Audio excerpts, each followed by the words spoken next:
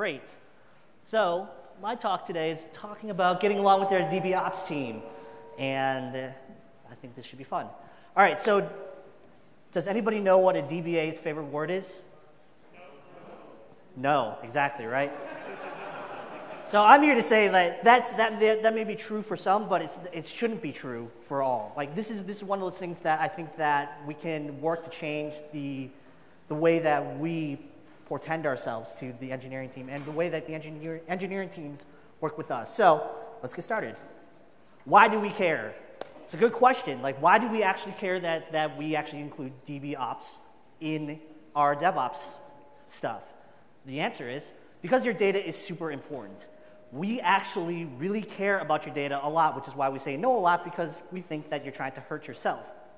That may or may not be true, but that's why we, that's why we care. We care so much that we just are like, listen, data integrity is the utmost thing that we care about.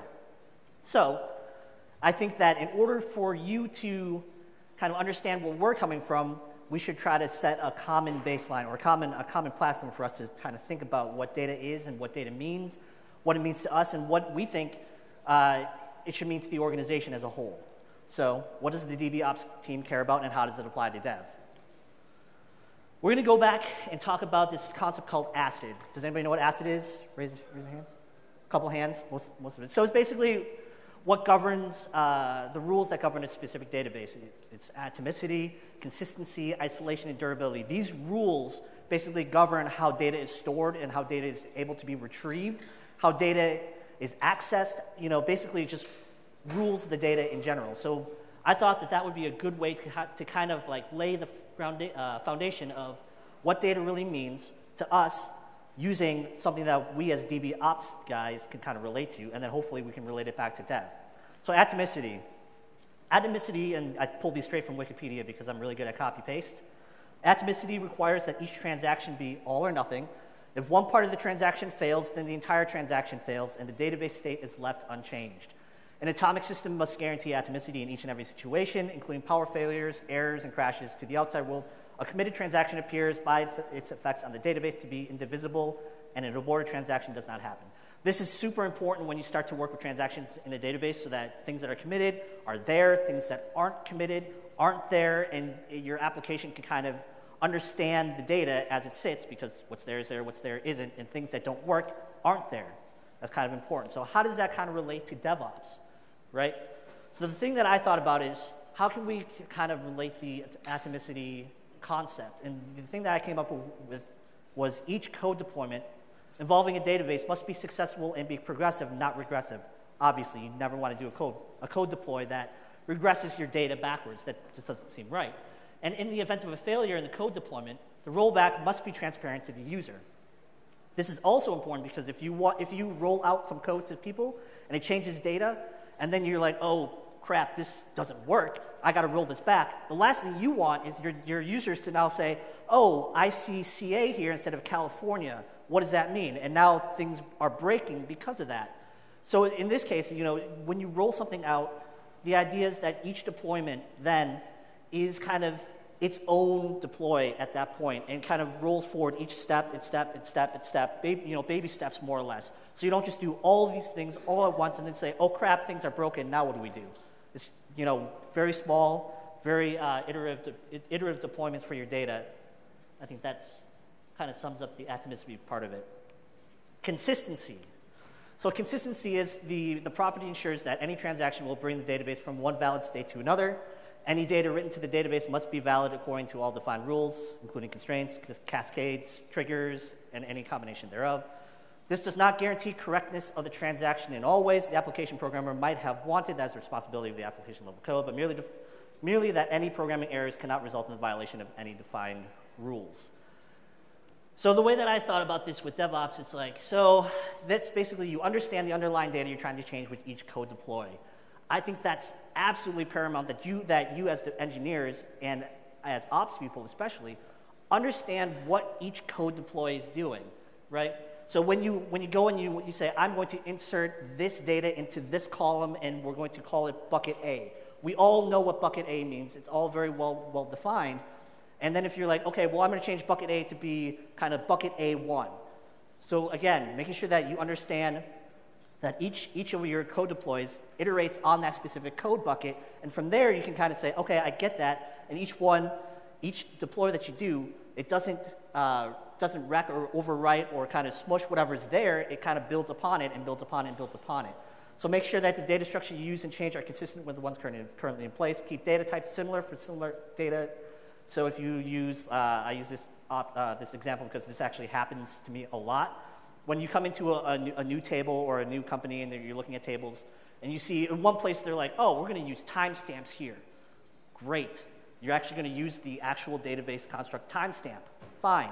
But then you go somewhere else and they're like, oh, we're going to use date stamps here. And you're like, well, why don't you use, just use timestamps here if you tried to do the same thing? And they're like, well, that's fine. We're going to actually use Unix stamps here with ints.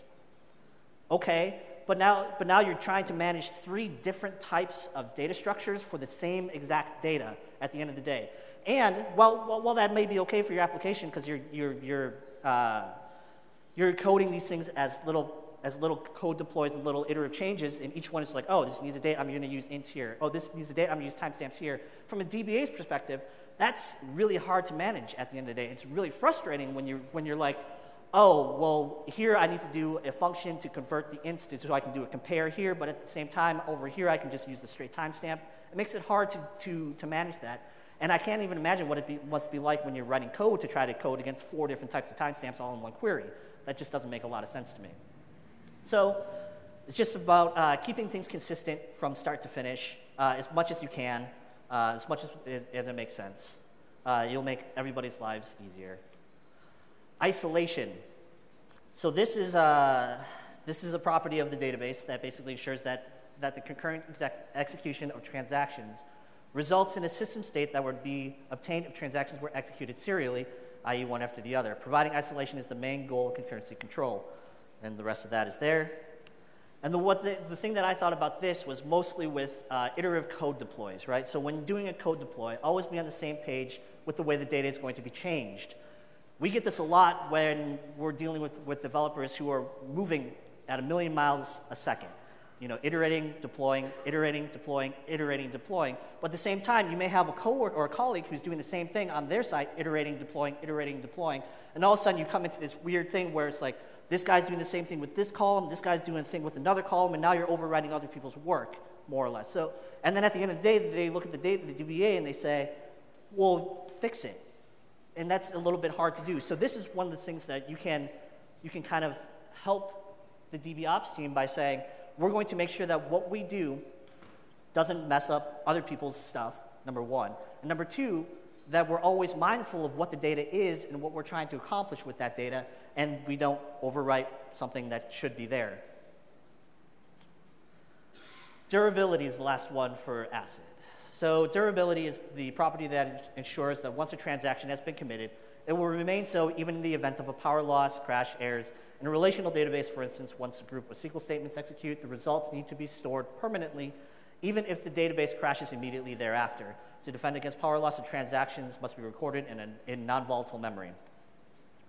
So the way that I thought about this was, okay, so if we understand the mechanics of the durability property of the database, if you're not using a truly ACID database, you may have to program in checks to ensure the data is stored and retrievable correctly, even in the event of a connection or system failure. Uh, having retries in, you know, if you, for whatever reason, the, the database handle drops. Being able to insert something in and then check to make sure that that actually is there uh, that, that specific element is there. Uh, so that what happens is if you don't do the checks and all of a sudden you start ins- inserting things that you may just be, be making assumptions on, that can cause issues with data integrity. And then again, that goes back to, well, now the DBA has to step in and kind of fix the data that's there, working with the engineers to try to figure out what's wrong and how, and how to either roll back or migrate or fix what's, what needs to be fixed. So now that we kind of covered that, I'm going to kind of go through some things that I like to call in practice items. I hate saying best practice because every, every, every company is different. And it's hard to just say hard and fast rule, this has to look like this. And even within DBAs, you get, you get kind of quarrels about what needs to go look one way or what needs to look another way, which database engine is best. I'm not even going to get, I'm not even going to get into that. So, in practice, around your schema, this will help when you start to work with your DB ops team to kind of to kind of get on the same page, right? So the first thing, I think the most important thing, is to know your data. Know what you're storing, know what you're, what you're trying to accomplish, know your data inside and out, and then be passionate about it, right? The last thing that the DBA wants to do is to deal with engineers who are just like, oh, I'm gonna throw this here. Oh, I'm gonna throw this there. No, be passionate about your data. Be very intentional about your data.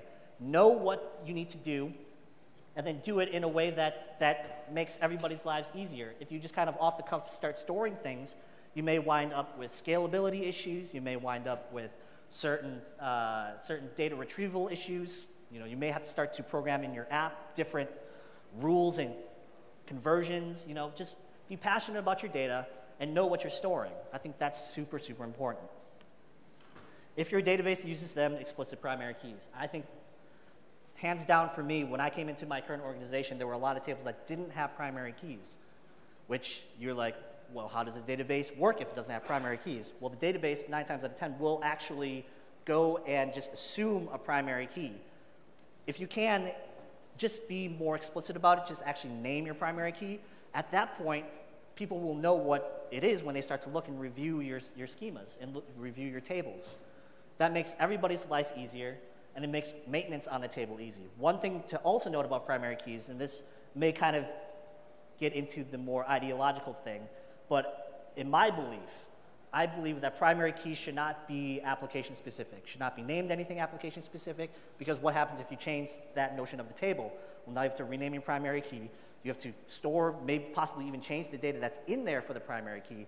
And so I always say, listen, it's easy enough. The database has something built in for it, whether you use GUIDs, UIDs, auto increment IDs. Just call it an ID field or a GUID field and, and just call it a day. After that, just start storing your data like you normally would. But as long as you have a primary key that can be referenced back, I think that's going to make everybody's life super easy, or much more easy. Correctly sized data fields. This is something that I get involved with a lot. So if you need, you know, a field to store an address, what you don't need is a text field, right? You need a, either a, a, specifically sized field for whatever length you want to store it, whether it's a car, varchar, or whatever. But know what size, know the data that you want to store, and know the size of that data. Understand your min max for these things so that you can, you can help the DBA kind of size these correctly. So if you say, I'm going to store usernames, and if we say, oh, how long can usernames be? You know, it can be 50 characters long or 255 or whatever that is. As long as you have an idea that will help the DBA kind of understand the data you're trying to store and understand what you're trying to do, and it will make your, your life and make everybody's uh, storage more efficient. Be able to forecast growth patterns. So this is a challenge. This is always kind of challenging when you say, "I'm going to put a new table out. It's a new product. We don't know how many people are going to hit it, but it's going to grow." If you have some sort of an idea of how how large it's going to grow, the DBA or the DB ops team can kind of kind of assume certain things and then say, you know, maybe we need to split this up into two different tables, or maybe we need to think about this idea, this concept, a little bit differently, a little bit more, uh, more scale, more scale oriented. Or if you know that it's just not going to scale at all, you can just say, oh, this is, you know, going to be five rows, five records, and it's never going to grow. But just having that idea and knowing your product and knowing what you're trying to roll out, I think it, it gives you a better it shows that you care about your it shows that you care about your data and it shows that you care about the work that you're doing and i think the, the db ops team will respect that. I, I certainly do with, with my guys when i work with them. Consistent naming conventions. This is also one that kills me when you come into a place and they're like we're going to use lowercase here camel case over here underscores over here we're going to call things full, full words here but then abbreviate over here table names are all who knows what maybe they're numbers maybe they're a sequence of letters I, I mean just be consistent. If you're going to be confusing, be confusing consistently so that at least that everybody understands that. But it's, it's just one of the things where, like, if, if no one has that base of what things are supposed to be called, you have no reference of when you're reading through a schema or reading through your code where you're supposed to store things. And as a, D, as a DBOps guy, you go and you, and you look at it and you're like, I don't know what IDNT means. Is that identity or is that ID is that I, I, you know you just don't know. So if you if you agree on a consistent naming convention from the start, or you work on on porting and moving things and renaming columns so that you get to a point that makes the most sense. Because at the end of the day, it's all about making sense for everybody. The people who read your code, the people who manage your data, the people who come behind you because, you know, it's, I always say it's all about leaving a legacy at whatever place you are, right? You don't want people to come in and be like, oh, frickin' Nick, he doesn't know what he's doing. He came in here and he called something this and this and that. You want to leave a legacy. You want to leave the work and the workspace better than you left it. And I think that having, having a good policy around consistent naming conventions just makes it easier for someone to read through and understand what you're trying to do and what you're really trying to accomplish. Understand storage conventions of the database engine. This is also pretty important, uh, mostly around, you know, around like uh, NoSQL versus relational ACID compliant databases, but also more along the lines of whether you're storing stuff compressed, whether you're storing stuff, you know, in a huge wide table with, you know, 20 varchars and 10 cars and, and a binary blob field. Don't do that. Uh, there are, there, are, there are things that you just need to understand in terms of like how, lar- how large can, can my row be? How much is each row going to take up when I try to store this? What is that, how, how does that factor into re- uh, returning that value and that data when you actually go to do that? I think that's, that's you know, again, that kind of goes back to knowing your data and understanding your data and knowing what you're doing in order to, to store that, to store that, uh, that information. This is a bonus. I really like it when my guys come back with this. Example queries with explain paths. It's not that hard to run and explain uh, on whatever information that you're, you're querying, whether it's on your local, uh, local database or whether it's on staging whether it's on development. It's easy enough to just say, hey, we're just going to run an example uh, just to, so that we understand how the data is actually being retrieved. Because the more you understand how your data is being retrieved and how it's being searched for and how it's being queried and how the optimizer of your engine that you're using likes to see the data, the more efficient you're going to be when returning that data, which in turn means happier customers, happier clients. So, again, it's, it's a nice to have. I always like it. It makes me smile inside. I like it. So, in practice, DBA stuff. So we're going to talk about continuous deployment of code, have a system and agreement in place. So when you start deploying code, especially in a continuous deployment environment, code is iteratively put in right away into production, right? So you, you commit it, it's deployed. You commit it, it's deployed. You commit it, it's deployed. And a lot of times, what I've, what I've heard is a lot of people don't actually take the time to, to bring the DB ops guys in at the very beginning. So by the time it's ready to be deployed, you deploy it out, it breaks something, DB ops has to get involved, and then you have to roll something back.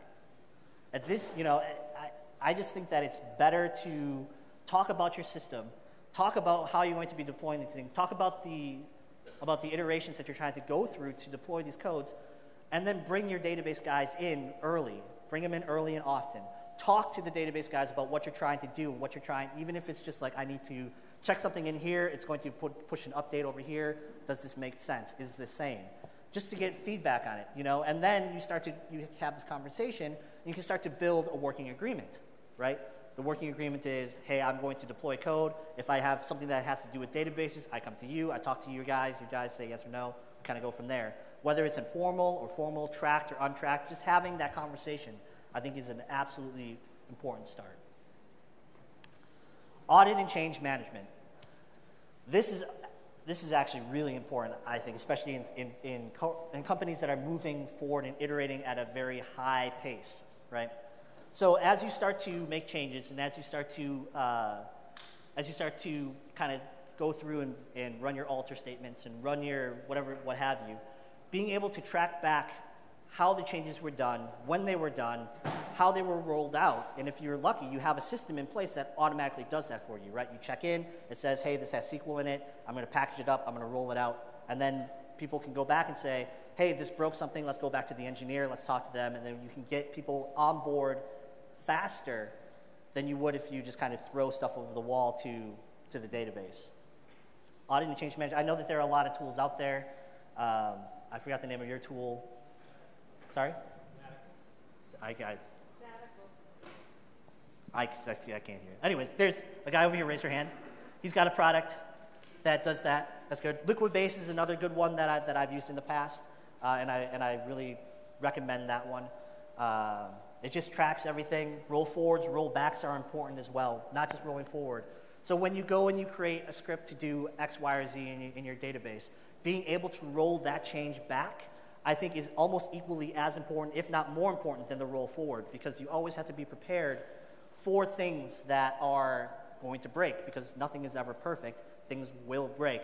It's just a matter of how do you recover from that, whether you roll forward, whether you have a plan to say, if this breaks, then we're going to migrate some data around and get that fixed. Having that, that information there, I think is going to be incredibly, incredibly useful. Data migration plans is kind of on the same note, cause and, with cause and effect analysis. So if you're, if you're going through and you say, okay, we have this new product that's kind of going to, that's going to be rolling out and we're going to do, you're going to change a thousand or a million columns here, or a million rows that have this data that looks this way, and now we're going to move it and we're going to make it look this way. Having a very clear plan of how you're going to go about deploying that is a very good idea whether that you know whether you go step by step like i push the, the code deploy button. The sql runs. We check and we test to make sure that the data looks okay. We roll code out that now depends on that data. And we check to make sure that the application works okay. We call it good. If something breaks we go back and we say okay where does it where did it break? How do we fix that? And we kind of go from there. But having that plan in place gets you prepared for whatever may or may not happen. Sure it could go absolutely perfect. You could roll something out and nothing breaks but it's just a matter of what if, right? And the last thing that the DB ops team wants to do is try to troubleshoot your deployment halfway through a deploy if it's broken. We just want to be on the same page. We want to know exactly what you expect so that we know what to expect, so that we know how to fix it if we need to get involved. Rapid deployment infrastructure. So this one is more along the lines of having a pipeline that goes from development through staging QA into production. Uh, we have a joke at my company where we say, I don't always text my, text my code, but when I do, I do it in production. And we all kind of laugh and we giggle about it, but then we say, oh, you know, we really shouldn't be doing that. Shouldn't be doing that. So have a good pipeline in place, you know, whether you say we, we deploy manually to these places or whether we have it as part of the tool, the, uh, tool, the tool chain. Just have a very explicit pipeline that goes from development staging to production so you can catch whatever you need to catch from a data perspective sooner than if you would just roll it out. Backups and restores. Uh, test often. So, how many people have backups here? How many people test them? Okay. How many test them more than once a month? Okay. How many test them more than once, once every two weeks? Daily? Yeah, daily. That's what it should be, right? The last thing you want to do is go through a, backup process, have something fail catastrophically, and say, I need to rebuild. You go to your rebuild and you say, Well, we've been taking backups, but they just don't work. Now what do you do? It's a good question. So backups, test them early, often. If you can, use them in your tool in your uh, tool chain in your pipeline. Right? Restore to a state. Use that to restore to staging every night put that out there, make sure that the data looks okay, and go from there. You know, there's a lot, it does take a lot of work, and it sucks to do all that hard work just to, for something that doesn't actually affect production and will only affect production in a catastrophic failure. But in the event that it does happen, that's going to make things a lot easier. So the thing that I would say is backups, restore, and, uh, early and often. So now that you have kind of a baseline of what we're kind of looking for from a DBOps team, now let's talk about actually getting along with them. Getting along with DB ops, I think, is not as difficult as a lot of people may, may think. Database ops, guys, we're very. Um, do we have any other DBAs here? One. I think that's indicative of how we interact with each other, right? We don't. And I think that's the, I think that's the key part of this whole conferences, we're talking about how to get dev and ops to kind of talk to each other, but we always forget about DB ops because they're off in their corner being grumpy old people saying, no, no, no, you can't do that, you can't do that, you can't do that. But I think that, and I believe that, if you start to bring people in early into the process, more often than not, you'll start to have a conversation instead of conflict. And so the first thing that you, you should probably do is buy into the same goals, right? If you go to your DBOps guy and you say, What is your main goal? And he says, Data integrity. That's well and good. If you go to your engineering team and they say, What's your main goal? It's delivering features to users, delivering software. And you talk about to ops, what's your main goal? It's availability. Those are all three very disparate goals for each specific department, but they, at the end of the day, they're all trying to do the same thing. We're trying to get value for our users, whether it's availability, whether it's new features, whether it's just having the data there and working. So buying into the same goal, I think, is absolutely paramount from the very beginning. Get people involved, have discussions with them, find out what they value and how they value it, and then try to work into a way that you can say, listen, this is what we're trying to accomplish as an organization. This is what we're trying to do. This is what we're all trying to get behind.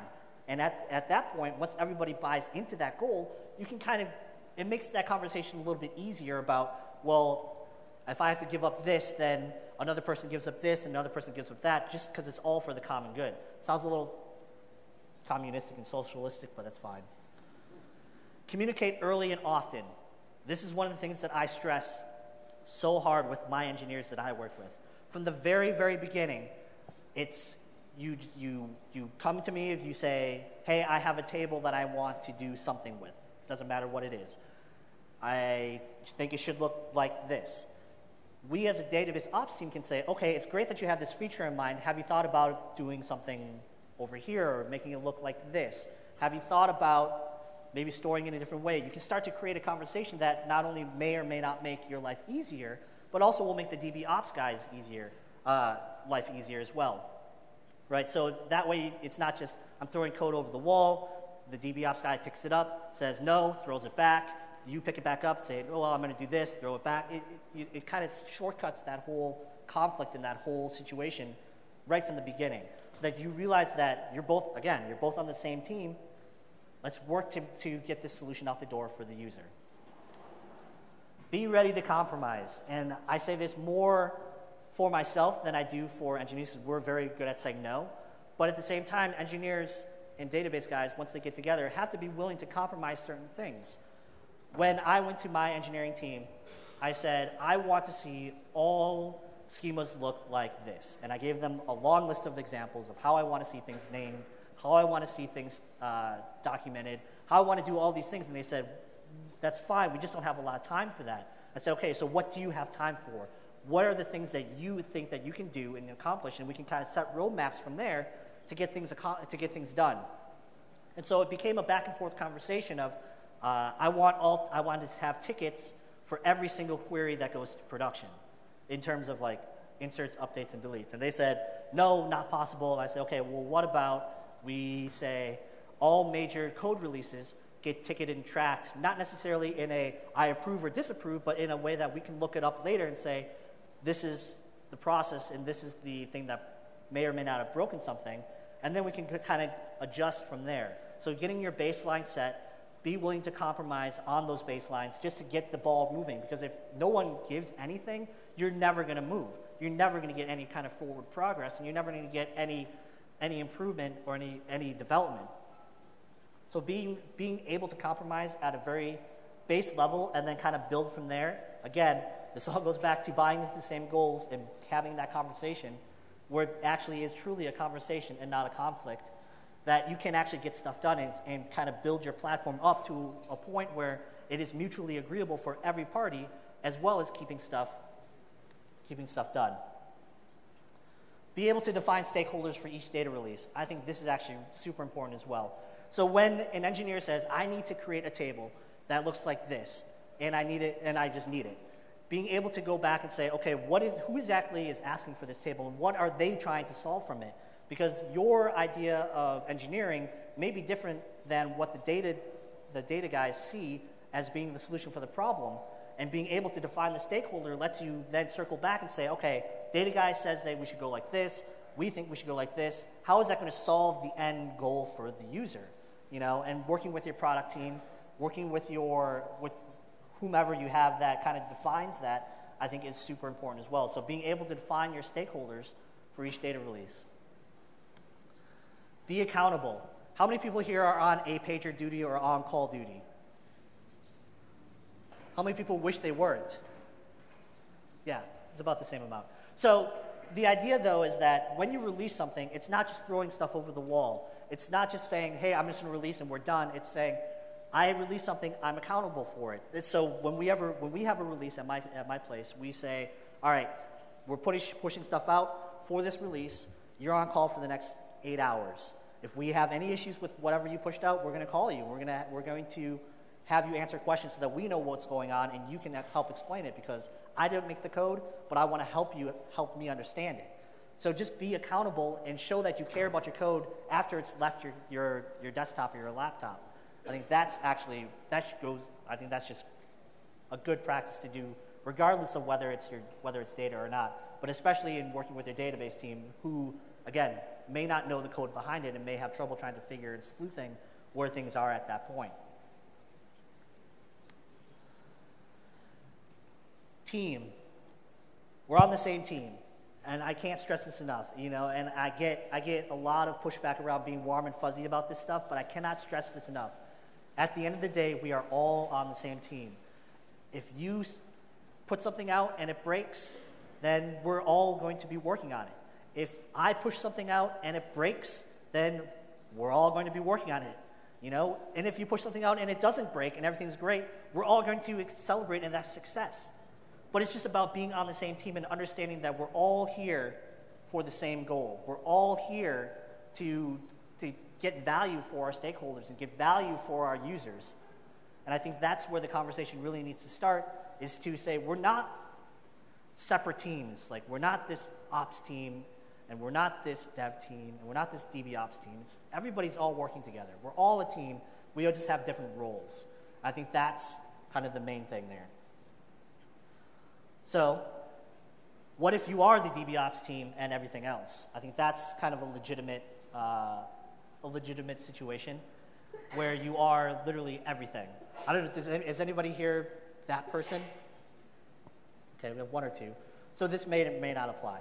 But again, it just starts to the, to the same thing. So troubleshooting tips for your data.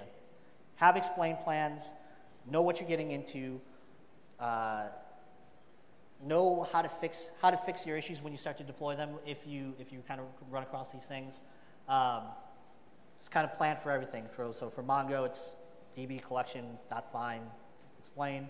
MySQL Postgres is explain select.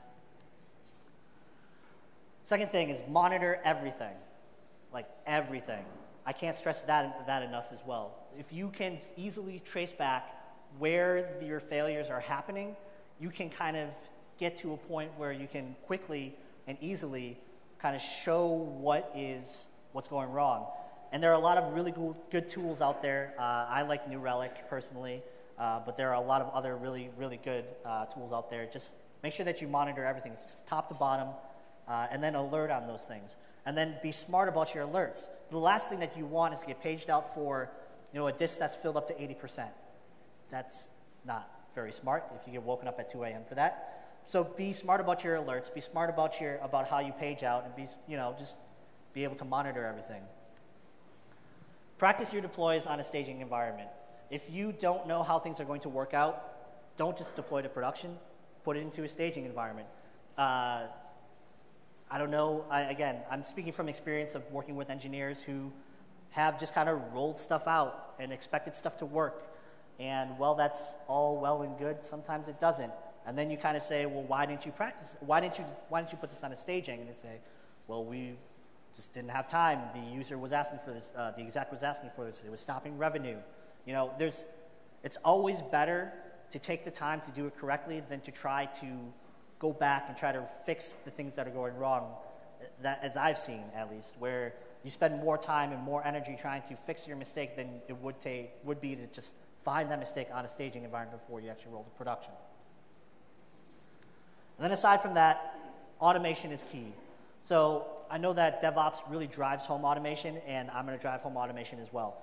Automation is key for you know up and down your stack, whether you're deploying to production, whether you're deploying to staging, whether you're deploying like all these things that we've talked about, uh, from the the deploy process, from the maintenance process. If you can automate those tasks, if you can automate those tasks, I mean that is what makes life 100 times easier, and it makes a lot of these seemingly hard requirements and hard bullet points to kind of hit, it makes it easier to actually hit without causing a lot of heartburn and a lot of stress.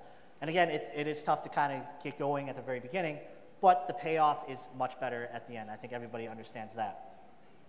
So, I mean, I, have, I think I have five minutes left. So at this point, I'm pretty much done with slides, so I'll take questions if anybody has questions.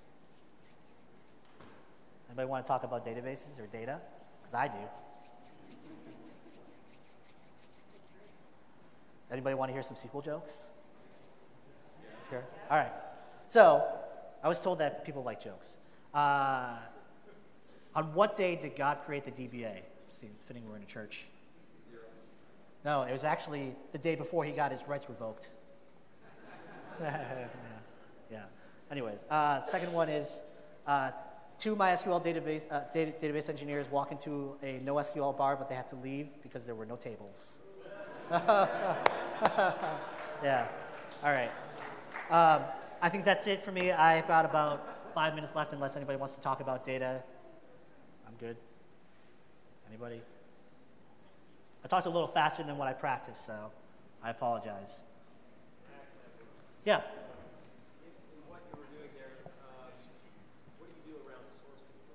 source control. So in terms of like having SQL with source control, or having like like alters and change versioning. Yeah. So it, I think it really depends on what your team is capable of doing. I would always recommend putting it into some sort of, at the very, very, very least, some sort of a Git repository, right? Just so that you have that schema there, your statements there, and finding whatever way it's going to work. Again, with Liquibase, you can check that those changes in and have that actually tracked and versioned, and you can see who's doing stuff and who's not, you know, who deployed stuff. Uh, Liquibase is good. I um, other than that, I would just say at least check it into some sort of a Git repo or source control, uh, just so you have it. Uh, I'm a huge fan of documentation. Uh, that doesn't mean that I don't I actually do it, but I'm a huge fan of documentation. So if you can document your schema and actually have it mapped out for people to read and understand, you'll make it easier for them to start to make changes and track those changes in the document as well as in source control. Yep, so uh, they asked about automation and what that looks like for me. So what that looks like for me is, again, with Liquibase, you can start to basically call Liquibase using a Java process to deploy your stuff to different, uh, whatever nodes you need to deploy it to. So you check something in, it gets pushed and merged in. You can then call Liquibase to deploy it for you. It, it's, it's not so much uh, hands-free automation, but it's more along the lines of push-button automation, if that makes sense. All right? that's it. Thank you very much.